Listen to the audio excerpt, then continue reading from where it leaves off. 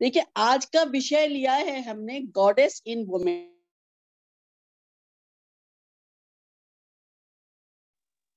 Please आप, आप अपने आप को अनम्यूट कर लीजिए।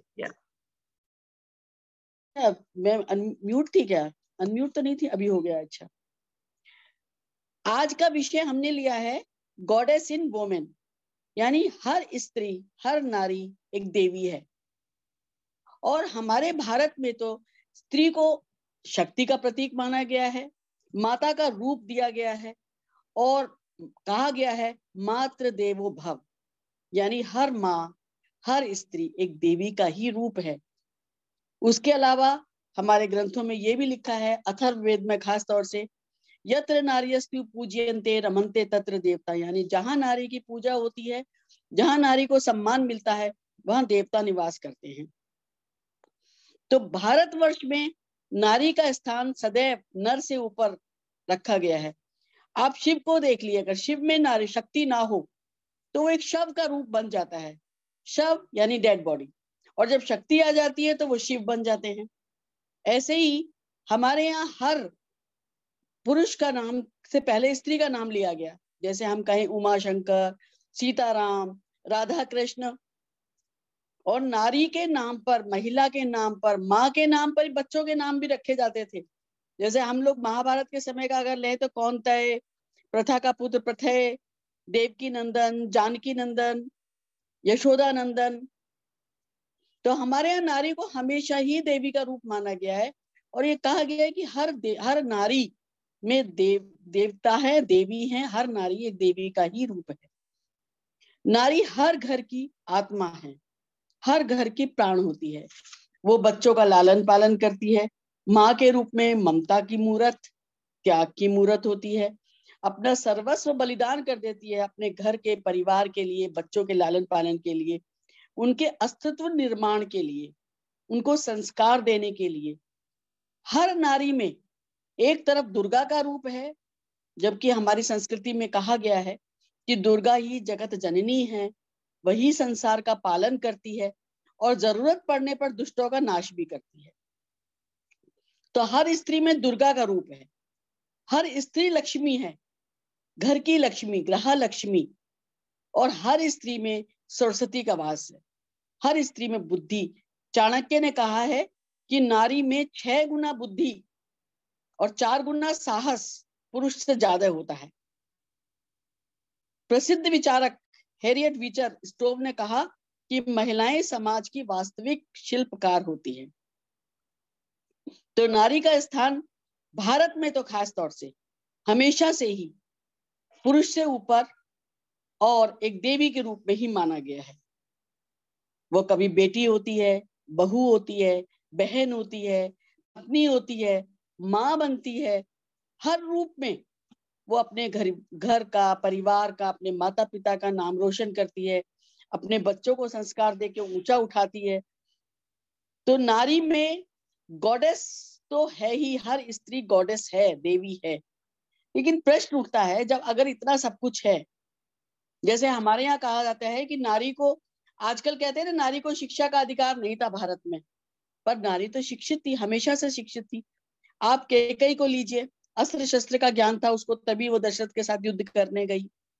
आप गार्गी को लीजिए, मैत्रेयी को लीजिए। उन्होंने याज्ञवल के इसका शास्त्रार्थ किया? तो शिक्षा थी, तभी वो कर पाई। उस समय वर्ण के हिसाब से शिक्षा दी जाती थी। ब्राह्मण को वेदों का ज्ञान, अगर शत्राणी है तो उसको शस्त्रों का ज्ञान, अगर वैश्य है तो उसको व्यवहारिक ज्ञान और अगर शूद्र होती थी तो उसको पकवान आदि बनाने का, घर का संभालने का ज्ञान, ये सब दिया जाता उस समय इतनी नारी को स्वतंत्रता थी कि वो स्वयंवर रचती थी, गंधर्व विवाह करती थी। तो जो हमारे देश के लिए या कहीं के लिए कहा जाता है कि नारी का शोषण रहा, हमेशा से नारी अशिक्षित रही, ना बहुत सारी यहाँ कुप्रथाएँ रही, या नारी सशक्तिकरण की बात हुई, या फिर महिला दिवस बनाने की बात हुई तो आखिर क्यों हुई? जब नारी एक गॉडेस है, जब नारी एक देवी है नारी का स्थान सदैव ही पुरुष से ऊपर रहा। नारी को हर तरह का अधिकार मिला, रहा तो फिर इन सब चीज़ों की ज़रूरत क्यों पड़ी? देखिए, इसका कारण यह है कि ये वैदिक काल, जो पौराणिक काल था, उस समय नारी का स्थान बहुत ऊँचा था। लेकिन जो एक पीरियड आया, जिसको हम कहते हैं अंधकार युग, मध्य काल, उस समय भारत में मुगलों का राज था। और बाकी पश्चिमी देशों में भी मुगल या फिर ईसाइयों का राज था उस समय नारी की बहुत दयनीय स्थिति थी। भारत में मुगल लोग लड़कियों को जबरन उठा के ले जाते थे, बलात्कार करना, अपहरण करना। इसीलिए बहुत सारी कुप्रथाएँ उस समय चालू हुई, जैसे कि बाल विवाह। क्योंकि हर परिवार चाहता था कि मेरी बच्ची की रक्षा हो सके तो जल्दी शादी कर दो। बाल विवाह शुरू हो गए, सती प्रथा शुरू हो गई कि अगर महिला विधवा हो जाती थी तो वो अपने पति के साथ ही वहीं पर सती बन जाती थी। जबकि हमारे देश में पहले सती प्रथा नहीं थी। अगर दशरथ जी की मृत्यु हुई तो कौशल्या जी या सुमित्रा जी, इन्होंने कहा सती बनी है कभी नहीं बनी। लेकिन जहाँ जहाँ मुगलों का साम्राज्य रहा, खास तौर से राजस्थान में वहाँ वहाँ ये सती प्रथा ज़्यादा आई। उसी तरह से फिर लड़कियों को स्कूल ले जाना, भेजना बंद कर दिया, गुरुकुल भेजना बंद कर दिया कि भाई ये मुगल उठा के ले जाएँगे। तो वो अशिक्षित रहने लगी। तो जितनी भी ज़्यादातर कुप्रथाएँ आई, उस मध्यकाल में आई। और उस समय क्योंकि ईसाइयों का राज था पश्चिमी देशों में, बाइबल के अनुसार स्त्री पूर्ण नारी ही नहीं थी। वो तो कहते हैं कि जो इनकी पसली, मानव की जो पसली से स्त्री का जन्म हुआ, वो पूर्ण नारी नहीं थी। आप ये सोच के हैरान होंगे कि सत्रहवीं व अठारहवीं सदी में भी जो पश्चिमी देशों के बिशप थे, उन्होंने कहा कि सिर्फ़ ईसाई महिलाएँ ही मानव हैं। बाकी सारी जो, और हर देश की हर महिला है, किसी भी धर्म की है, किसी भी जाति की है, वो मानव व पशु के बीच में है। चौदह सौ चौरासी व सत्रह सौ चौरासी के बीच आश्चर्य करेंगे, पश्चिमी देशों की बात मैं बता रही हूँ। नब्बे लाख महिलाओं को चुड़ैल घोषित किया गया पश्चिमी देशों में और उनको मार दिया गया। ये हालत थी महिलाओं की पश्चिमी देशों में। और हमारे देश में भी उस समय मुगल काल था तो भारत में स्त्रियों की अवस्था बहुत दयनीय अवस्था में पहुँच गई थी। और इस्लाम में तो नारी को हमेशा ही भोग की वस्तु, पैरों की जूती, इस टाइप के माना गया। तो हम कहते हैं कि उन्नीस सत्रहवीं शताब्दी, अठारहवीं शताब्दी, जहाँ जहाँ भी मुगलों का राज रहा या ईसाइयों का राज रहा, उस समय पूरे वर्ल्ड में नारी की स्थिति बहुत दयनीय हो गई और तब 19वीं सदी में नारी मुक्ति आंदोलन से शुरू हुआ। आप ताज्जुब करेंगे 19वीं सदी में जबकि हमारे देश में अगर देखा जाए मध्यकाल से पहले तो नारी का स्थान बहुत ऊँचा था। 19वीं सदी में पूरे विश्व में ये आवाज़ उठी। सबसे पहले न्यूयॉर्क में आंदोलन हुआ। महिलाओं ने क्या आंदोलन किया? कि उनको ज़्यादा पैसे दिए जाएँ, उनके भोजन का खर्चा दिया जाए, उन, उनकी उनका ध्यान रखा जाए परिवार में भी, नारी को शिक्षा का अधिकार दिया जाए। इस बात को लेके नारी मुक्ति आंदोलन शुरू हुआ 1908 में न्यूयॉर्क में। उसके बाद ये जगह जगह धीरे धीरे पूरे विश्व में फैल गया। एक साल बाद socialist socialist party of America में यही बात उठी और 1910 में कोपेनहेगन में एक महिला थी, क्लास जेटकिन। उसने एक कॉन्फ्रेंस की और उसने 8 मार्च को महिला दिवस घोषित कर दिया। और 1911 में ऑस्ट्रिया, डेनमार्क, जर्मनी, स्विट्जरलैंड में महिला दिवस मनाया जाने लगा और धीरे धीरे पूरे विश्व में मनाया जाने लगा। 1975 में यूनाइटेड नेशंस ने इसको मान्यता दे दी। जबकि भारत में जब हमारा देश स्वतंत्र हुआ उन्नीस में, उसके बाद जब पहला ये बना हमारा संविधान तो उसमें भी महिला को वोट कर देने का अधिकार था। जबकि पश्चिम देशों में बहुत लेट ये अधिकार उन लोगों को मिले कि वो वोट दे सकती हैं। तो महिलाओं की स्थिति वास्तव में जो खराब हुई वो हुई मध्यकाल में। आप ताज्जुब करेंगे, वोट देने का अधिकार यूरोप, अमेरिका, जिसको हम कहते हैं कि बहुत आधुनिक है मॉडर्न है, बहुत डेवलप्ड है, विकसित है 1933 में यूरोप में 1960 में अमेरिका में और 1980 में स्विट्जरलैंड में महिला को वोट देने का अधिकार मिला। जबकि भारतवर्ष में 1950 में ही ये अधिकार मिल गया, जब जब पहला संविधान हमारा बना था, उसी में ही महिला को वोट देने का अधिकार था। तो अब बात हुई कि जब हम देश स्वतंत्र हो गया और ये आंदोलन हो गया, महिला दिवस मनाया जाने लगा, नारी मुक्ति और नारी शोषण की बात हुई और हमारे देश में भी ये सब उठा। उस समय दयानंद सरस्वती हुए, राजा राम मोहन राय हुए, विवेकानंद जी हुए, इन सब लोगों ने भी नारी के लिए आवाज़ लगाई कि नारी को शिक्षित करो, नारी को मुक्ति दो, नारी को थोड़ा सा विकसित करो और उसके बाद अब हमारा स्वतंत्रता के बाद आ गया आधुनिक युग, जिसमें हम कहते हैं, महिला दिवस मनाते हैं, लेकिन वास्तव में ज़रूरत है या नहीं, इसको सोचने की बात है। क्योंकि नारी को शिक्षा का अधिकार हमारे देश में मिलने लग गया फिर से। नारी स्कूल भी जाने लगी, महिलाएँ पढ़ने लग गई, और आप देखेंगे, कोई सा फ़ील्ड ऐसा नहीं है आज जिसमें महिला काम नहीं कर डॉक्टर भी है, इंजीनियर भी है सीए भी है, वकील भी हैं। हर खेल में जा रही हैं, राजनीति में जा रही हैं, यहाँ तक कि सेना में भी जा रही हैं। हवाई जहाज़ उड़ा रही हैं, ट्रेन चला रही हैं, गाड़ियाँ चला रही हैं। कोई फ़ील्ड ऐसा नहीं है जिसमें अभी महिला काम नहीं कर रही है और वो सक्सेसफुल नहीं है। आप एक से एक अच्छी महिलाओं का नाम लीजिए, चाहे इंदिरा गांधी लीजिए, किरण बेदी लीजिए अपनी पीटी उषा ले लीजिए, जो किसने खेलों में, सरोजनी नायडू जी को ले लीजिए, जो पहली गवर्नर बनी हमारे देश की। और एक से एक जितनी भी महिलाएँ इवन हम कहते हैं बिना आरक्षण के भी महिलाएँ जो ऊपर उठी, वो राजनीति के क्षेत्र में भी उठी, शिक्षा के क्षेत्र में भी उठी, अच्छे से अच्छे डॉक्टर, चिकित्सक भी बनी और खेलों में भी गई, हर फ़ील्ड में महिला आगे बढ़ी। उसके बाद जब शिक्षित हुई तो वो काम पर भी गई और स्वावलंबी भी बनी। महिलाओं का नाम हर फ़ील्ड में आने भी लगा। लेकिन जब इतना सब कुछ हुआ तो कहते हैं हर अच्छाई के साथ थोड़ा बुराई भी चलती है। और वो हुआ। जब नारी शिक्षित हुई तो थोड़ा सा उसमें अहंकार आया। स्वावलंबी बनी तो उसने, उसमें थोड़ा सा स्वतंत्रता व स्वच्छंदता के बीच के अंतर को भूलना शुरू कर दिया। नारी जगत जननी भी है, नारी परिवार की जननी है, हर पुरुष की जननी है, राजाओं की जननी है, रंग की भी जननी है। लेकिन जननी तो रह गई। जो माँ के कर्तव्य हैं, वो धीरे धीरे नारी ने भूलने शुरू कर दिए। कुछ मैं ये नहीं कहती कि करीब करीब सभी महिलाओं ने ऐसा किया, लेकिन ये एक कुरीति या उसका कहना चाहिए कि साइड इफ़ेक्ट शिक्षा और स्वावलंबन का नारी में आया।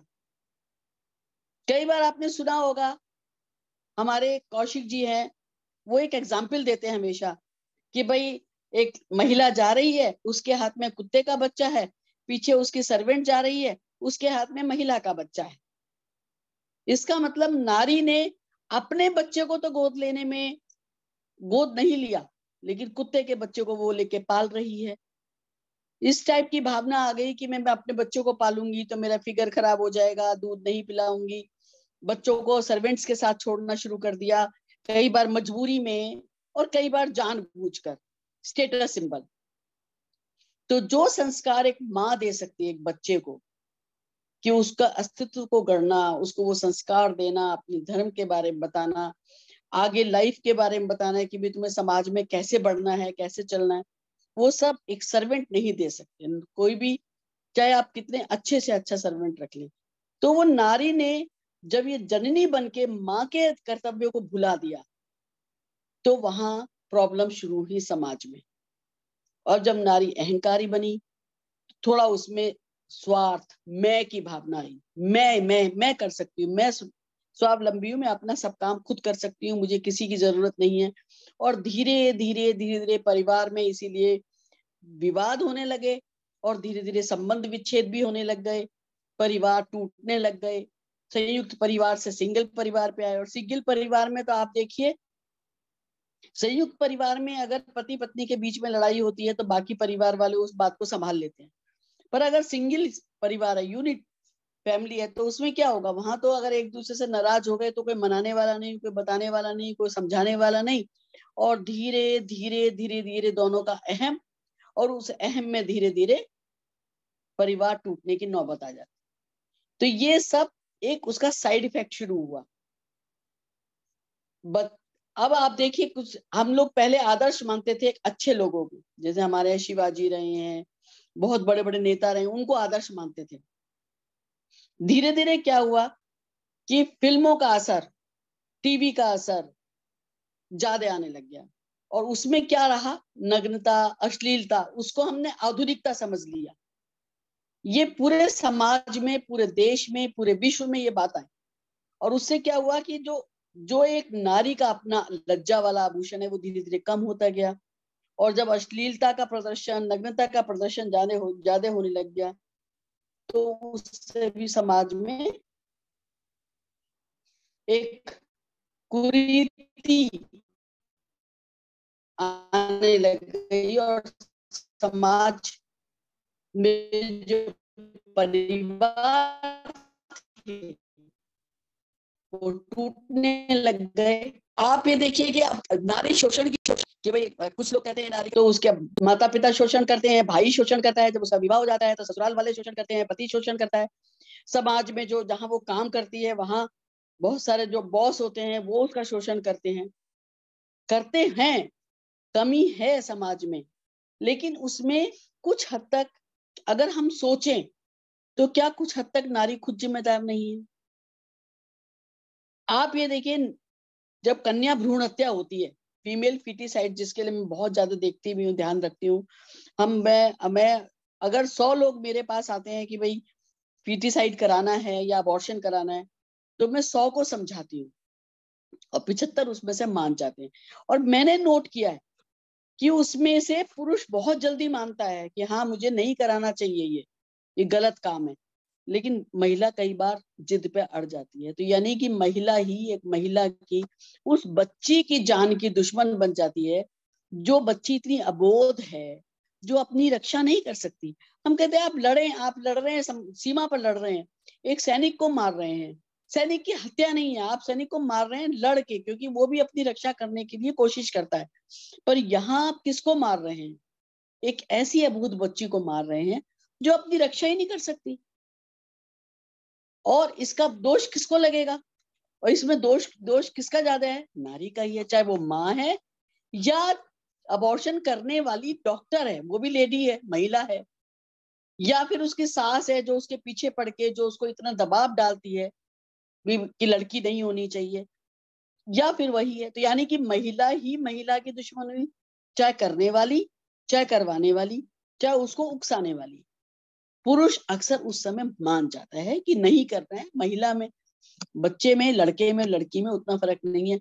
कुछ परिवारों में होगा कि हो सकता है कि पूरा परिवार ही उस चीज़ के अगेंस्ट हो, लेकिन अगर उनको समझाया जाए, उनको अगर ड्रॉबैक्स बताए जाए कि भाई जो आप कर रहे हो वो गलत है, और मैं हमेशा क्या समझाती हूँ?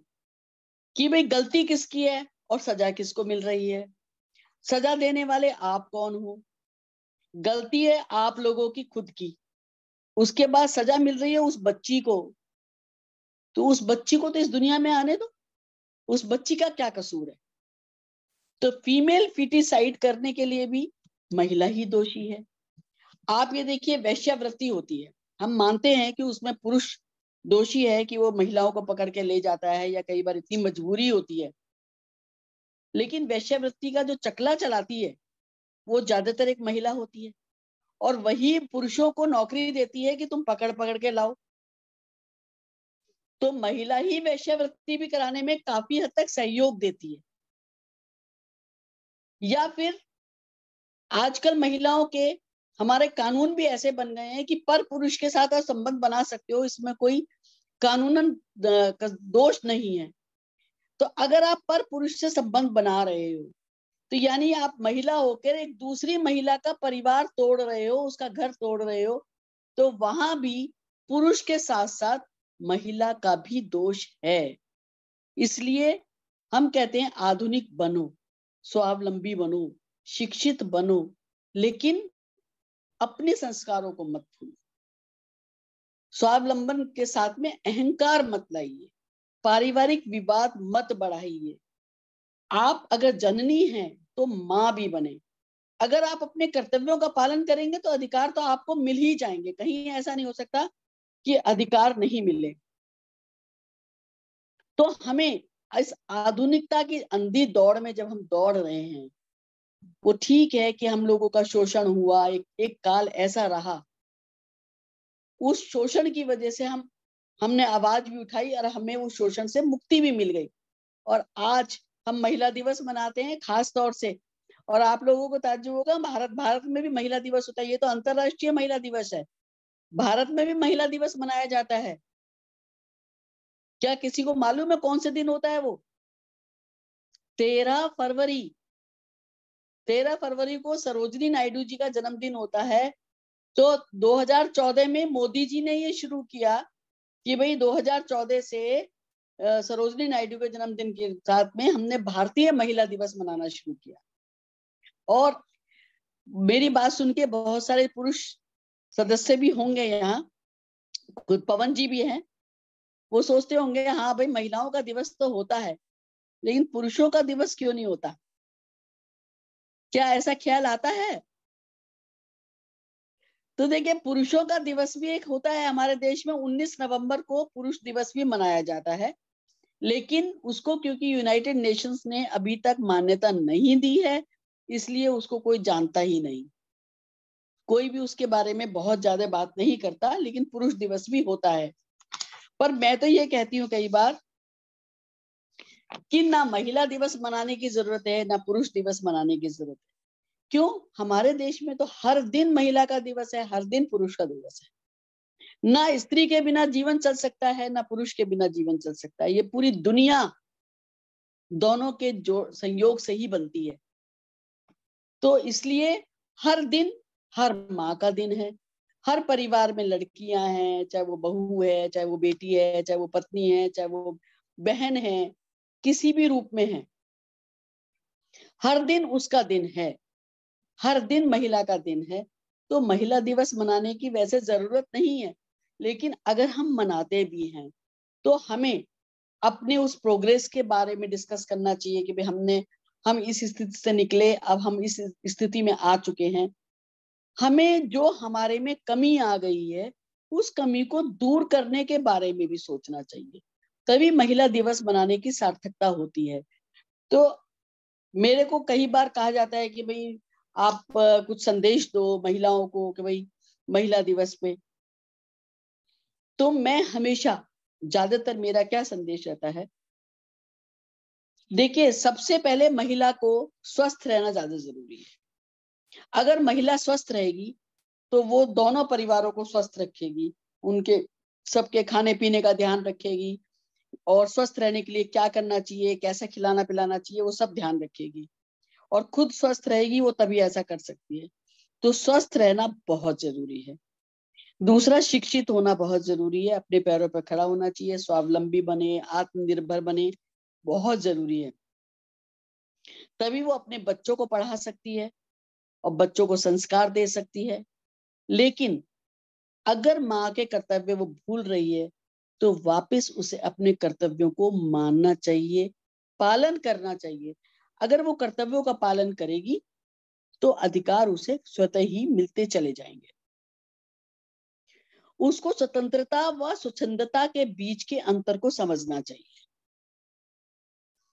हम कहते हैं कि अगर एक नदी को भी बिल्कुल स्वतंत्र छोड़ दिया जाए, स्वच्छंद छोड़ दिया जाए, कहते हैं स्वतंत्र स्वच्छंद नदी भी बहती है तो वो नदी के तटों को पार कर जाती है और बाढ़ आ जाती है।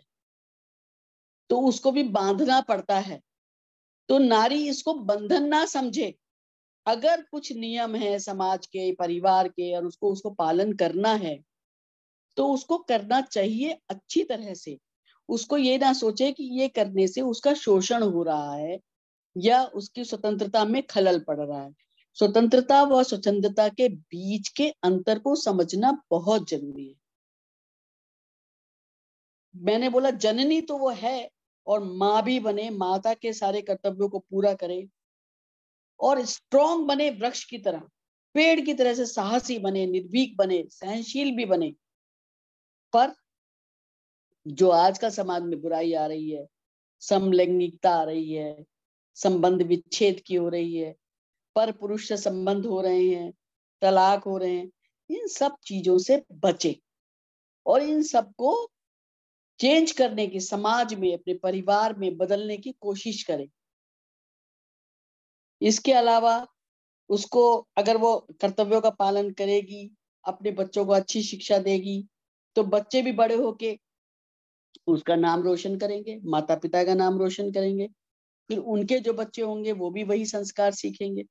और आप देखेंगे परिवार में जो माता पिता करते हैं, अक्सर बच्चों पे उसका असर होता है। बच्चे वही सीखते हैं जो माता पिता को देखते हैं बचपन से। लेकिन जो बच्चे सर्वेंट्स के साथ पल रहे होते हैं तो वो सर्वेंट्स की भाषा सीखते हैं सर्वेंट्स की बातें सीखते हैं। उनके जो, उनमें वो संस्कार जो होने चाहिए, वो नहीं आ पाते।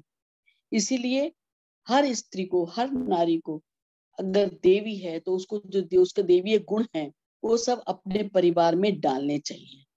तभी हम कह सकते हैं कि अंतरराष्ट्रीय या राष्ट्रीय या भारतीय कोई भी महिला दिवस अगर हम मना रहे हैं तो जो उसमें कमी आई है नारी के, उस या समाज में जो कमी आई है, उसको दूर करने का प्रयास करें।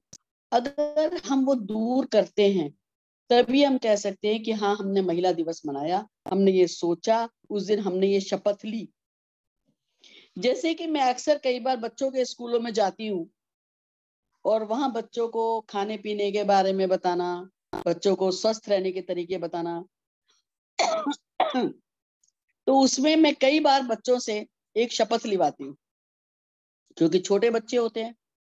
हर बच्चे के खान पान में आजकल Coca-Cola Pepsi, pizza, burger, sorry, मुझे थोड़ी खांसी है। ये सब चीज़ खाने में ज़्यादा हो गई है। तो मैं उनको एक ही एग्ज़ाम्पल देती हूँ कि अगर आप कोक पियेंगे तो उससे क्या नुकसान होगा? तो मैं एक एग्ज़ाम्पल क्या देती हूँ कि बच्चों, कभी तुमने वो दांत उखाड़ के अपना ज़मीन में गाड़ा है? तो वो कहते हैं हाँ बचपन में मम्मी ने गड़वाया था। तो कहते हैं, कभी सोचो, अगर वो दांत आप कुछ सालों बाद उसी जगह से उखाड़ोगे, निकालोगे तो वो निकल आएगा। दांत गलेगा नहीं। लेकिन एक एक्सपेरिमेंट करो। उस दांत को आप कोका कोला में डाल दीजिए। और कुछ दिनों बाद देखो, या कुछ महीने बाद देखो।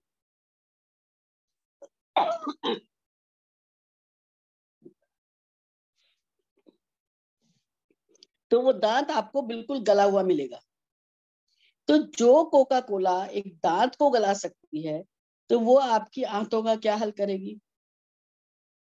तो मैं बच्चों से उसी समय शपथ लिवाती हूँ कि आज के बाद आप कोका कोला नहीं पिएँगे। अपने घर में भी नहीं रखेंगे और अपने मेहमानों को भी नहीं पिलाएँगे। क्यों? क्योंकि अतिथि देवो भाव यानी अतिथि तो देवता का रूप है। आप उसको वो चीज़ क्यों पिला सकते हैं? कैसे पिला सकते हो जो आप खुद नहीं पी सकते? तो जैसे वो बच्चे शपथ लेते हैं तो मेरा मानना है, अगर सौ में से पच्चीस बच्चे भी मान गए तो समाज में बदलाव आएगा।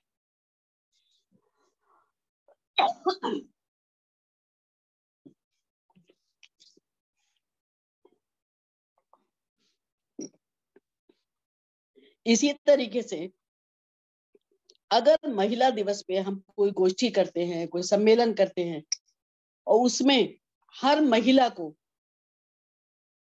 केवल नारी शोषण और सशक्तिकरण की बात ना करके जो हम लोगों में कमी आई है। अगर हम उस कमी के बारे में बताएँ और उस कमी को डिस्कस करें और उसको दूर करने का प्रयास करें तो मुझे लगता है कि अंतरराष्ट्रीय महिला दिवस मनाना ज़्यादा सार्थक होगा। और लास्ट में कुछ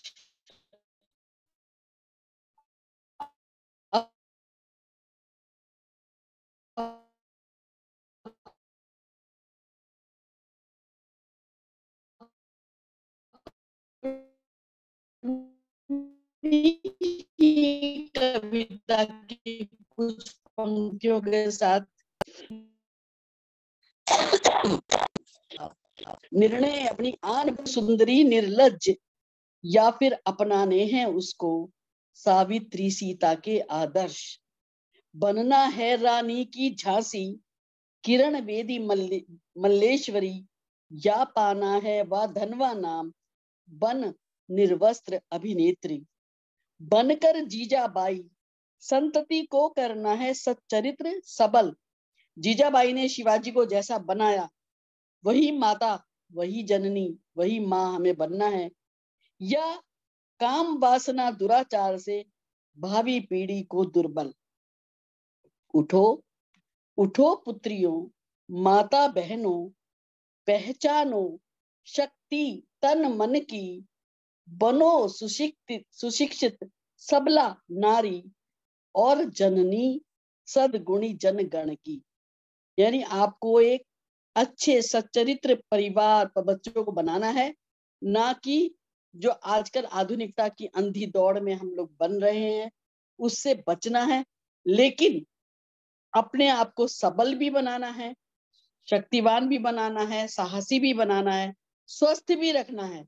शिक्षित भी होना है। इन सब के साथ जो आने वाले दुर्गुण हुए हैं या जो भी हमें कमी आई है, उनको दूर भी साथ साथ करना है। तभी हम कह सकते हैं कि जो महिला दिवस हम मना रहे हैं, वास्तव में वो सार्थक हो रहा होगा। और मैं चाहूँगी कि अगर हम सभी लोग जितनी भी गोष्ठियाँ करें या कहीं भी करें, केवल नारी शोषण और उसके सशक्तिकरण की बात ना करते हुए उसमें आने वाली कमियों को दूर करने की बात भी करें और उनको दूर करने का प्रयास करें। तो जो हमारे समाज में पहले से कुछ कमी आ गई है, वो कमी दूर होगी और हम फिर से वही पुराने प्राचीन काल का, जो पौराणिक काल का भारत वर्ष था विश्व गुरु जिसको कहते हैं, जिसमें नारी को पुरुष से भी ऊपर दर्जा मिला हुआ था, फिर से वही मिल सकता है। क्योंकि आज पुरुष नारी को एक तरफ़ कहता है कि हाँ आगे बढ़ रही है, नारी की बुराई भी हम खुद करते हैं कि जो कमी हम में आई है वो दूर होनी चाहिए। तभी हम सब लोग सशक्त बनेंगे, सबल बनेंगे और फिर से हमारी सब सब जगह तारीफ़ ही होगी कि हाँ नारी का रूप नारी वास्तव में देवी है। हमें फिर से देवी का रूप धारण करना है गॉडेस बनना है, जो हमारे पुराने वैदिक काल में होता था। इन्हीं शब्दों के साथ मैं अपनी वाणी को विराम दूँगी। धन्यवाद। जय हिंद।